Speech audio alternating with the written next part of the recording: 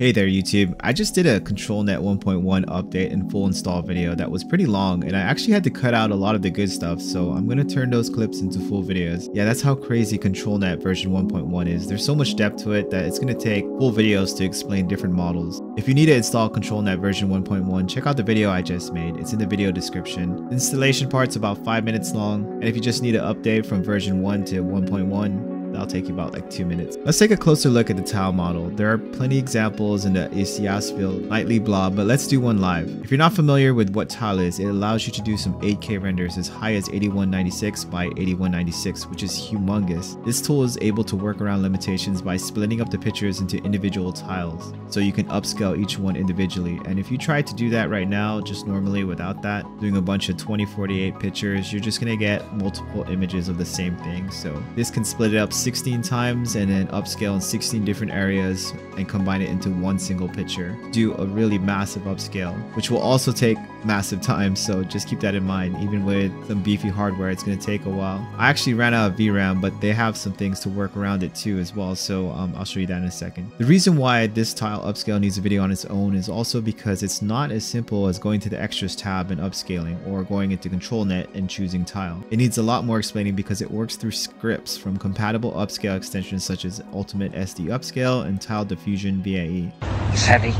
I'm going to show you how to install both of these, but we're only going to play around with the Ultimate SD upscale for this video. Don't think I know enough about the Tile VAE and I'm not getting good enough results. Not really sure what I'm doing wrong, so I'll come back with another video for that when I know more about it. If you want to take a closer look at some of the outputs that the Tile model can give you, you can check out the lllyasviel nightly blob and they have a lot of examples and good explanation of those examples on there. But let's do one live. Do it live! I can, I'll write it and we'll do it live! Whoa, okay. Before we do that, let's install the Ultimate SD Upscaler. So it's pretty easy. This one, you don't even need to grab a link. You just go to your extensions tab again, then click on the available sub tab. Now click on the big orange load from, then you get an error just like me, crap. Then click on the big orange load from button. Then look for Ultimate SD Upscaler in here. There's a little search box in the top now. You can just type in Ultimate and it should be the only thing that pops up. Now click on install and it should take like two or three seconds. And then go to the installed sub tab. And now look for it here. It'll say Ultimate Upscale for Automatic 11 11 so it doesn't say the same exact name which is strange but that's the one right there so now just click on check for updates all right now just click apply and restart all right awesome now you have the ultimate sd upscaler let's get the other one the vae tile upscaler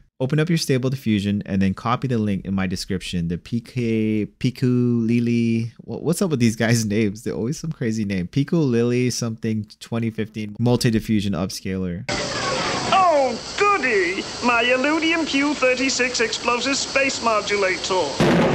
Now we're just going to click on the extensions tab and then we're going to click on install from URL. And then right inside that box where it says URL for extensions, git repository, just go ahead and paste the link for the Piku Piku 2015. Put that in there and then click on the big orange install button. Don't worry about the local directory name. It's going to make its own. Now all you got to do is to go to the extension sub tab installed. When you're in there, make sure that everything's checkmarked and click on check for updates and then click on apply and restart UI. All right, so it's going to restart for you. And then when you come back in, it should be installed. You're going to need one more additional tool and it's called Ultra 4 times Sharp. And I'm going to put the download link in the description. And it's a, a, little bit different than your typical Hugging Face site, but you're basically going in that link, grabbing the file and throwing into your model's ESRGAN folder. There'll be a link in the video description for it and you'll just download it and you'll get this zip file right here. Just open up the zip file and you're only going to need this file right here, which is the 4 times ultra sharp.pth. The rest of it, just don't worry about it. Forget about it. Go into your Stable Diffusion folder, models, and then go into ESRGAN. Double click it and just drag it right into that models folder for ESRGAN. And that's it. Now you have the four times ultra sharp. You might have to restart to see it though. Next, you want to go to the Hugging Face ControlNet site with, with all the models for ControlNet and just check if your tile version is the most up-to-date one. If not, just download the tile.pth by clicking on the down arrow. Then put your ControlNet tile model in the Stable Diffusion extensions, SD Web UI ControlNet, and then here in the models folder. Make sure that's the correct models folder because there's quite a few of them in Stable Diffusion. As you can see, I already have mine here, so I'm not going to do it twice. And that's all you need. So just go back to your web UI tech user bat file to open Stable Diffusion. And let's get back in and do some upscaling. First thing to note, and very important before doing any of this, is that this is all done in image to image. If you're not in that tab, you're probably a little bit confused right now because you can't find anything. So make sure you're in the image to image tab. I say this because upscales are normally done in the extras tab, but this is going to be a little bit different. So uh, with that being said, drag and drop your image into the image to image box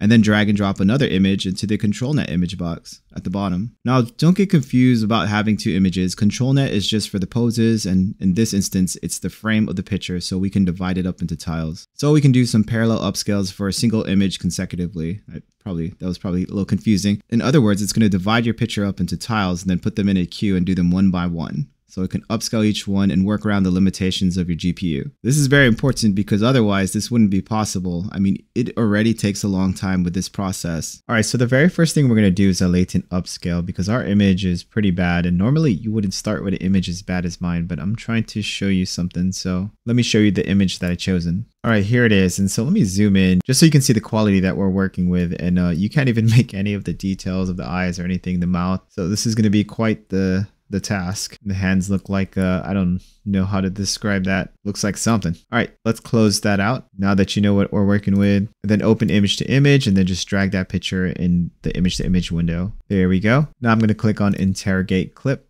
and then I'm going to add a negative prompt. So I'm going to click in a negative prompt and I have my own here, which is a deliberate negative prompt that I got from Civit AI. I did a whole video on that on custom models and custom negative embeddings if you want to check that out.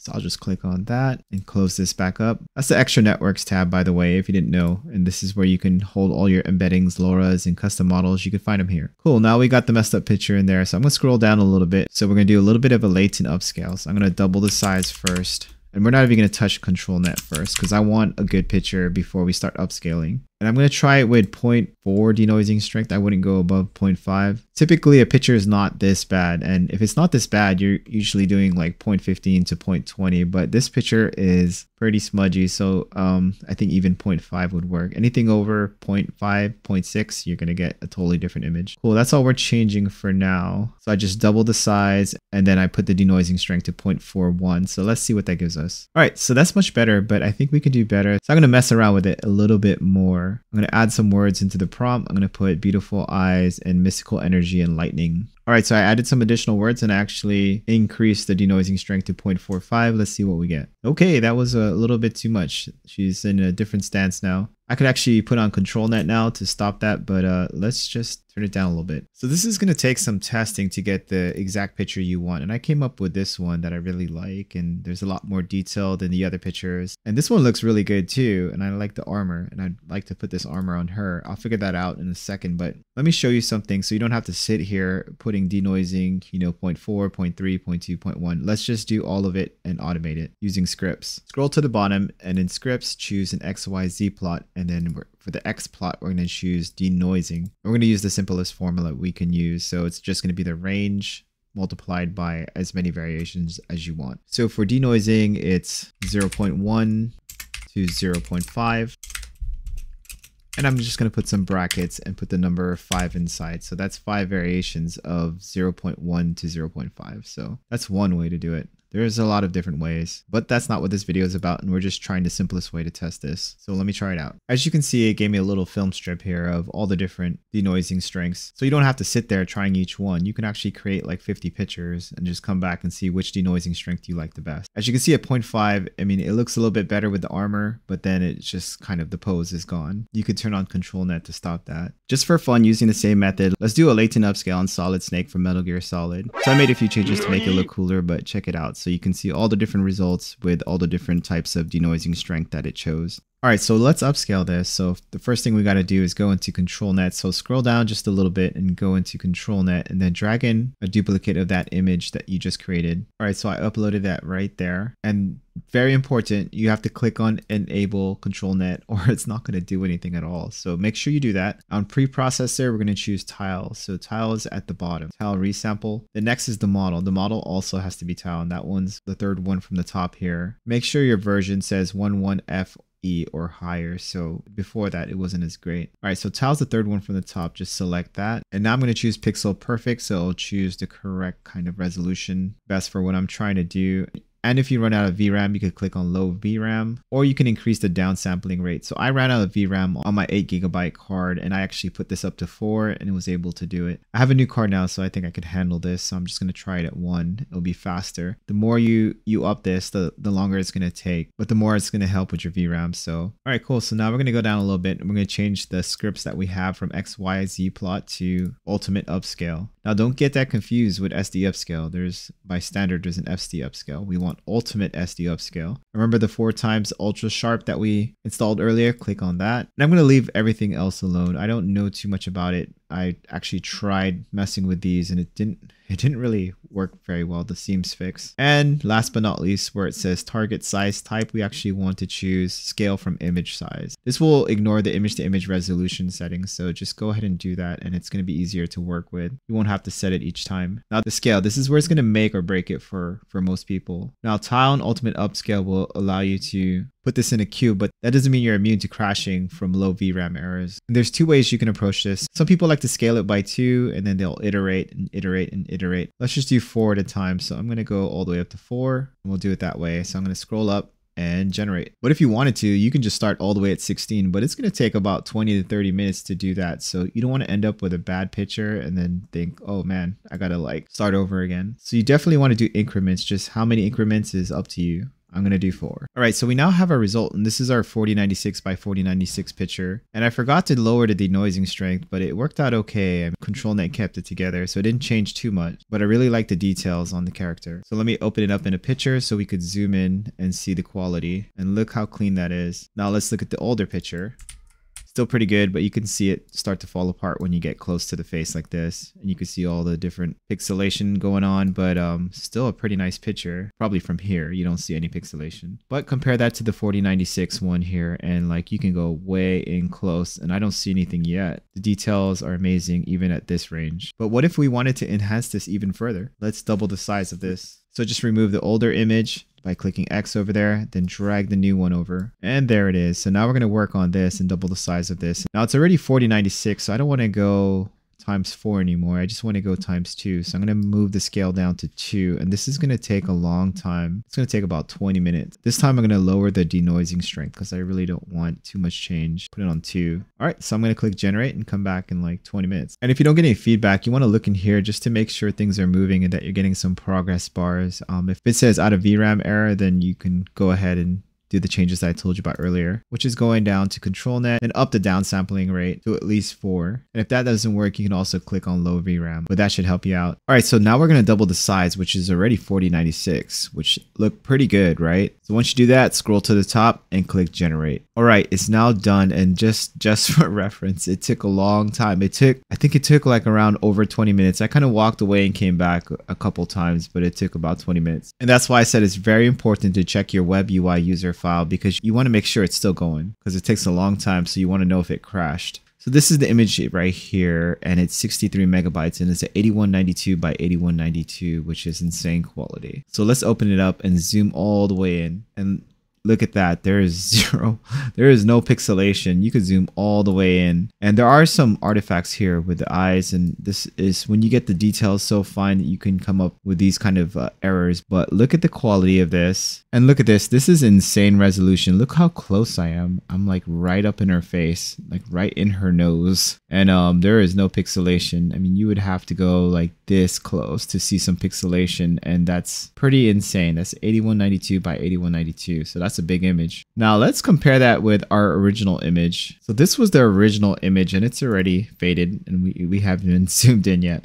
And uh, look at that face. We've come a long way. Now let's look at our first upscale, which was the times two, which made it from 512 to 1024 to 1024, with the most important fact that it was a latent upscale, so it fixed a lot of the details. So if you didn't know, this is the way to fix your pictures. And if your pictures are really bad, this is the way you can actually make it look beautiful. But you can see like as soon as you zoom into like right here, like it starts to fall apart. And then even here, it's just kind of, you can tell that it's starting to get pixelated and the details are not so clear. So this is the 1024 by 1024. And then we did a four times scale with control net. and this is what we got. And this is a pretty good picture and this is already high def enough. And this is probably as far as I would normally go. But if you zoom like about right here, this is when you start to see things kind of like pixelate, but it's still kind of really hard to tell. You have to be really looking to see the pixelation up here. And here again, I zoom in and then you can see the pixelation around the eye and around this area. But I mean, that's that's super close. I mean, you should see pixelation in most pictures, but not this one. Now this is the 8192 by 8192 and you zoom all the way into her face. Like you can go this close and you don't see anything. I mean, maybe you see it. I don't see it. Um, that